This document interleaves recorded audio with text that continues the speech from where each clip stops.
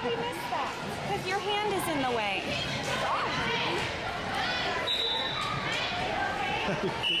Caitlin into the net.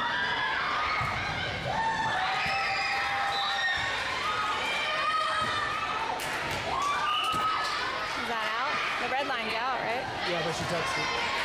it I know, but it, it, it would have been close.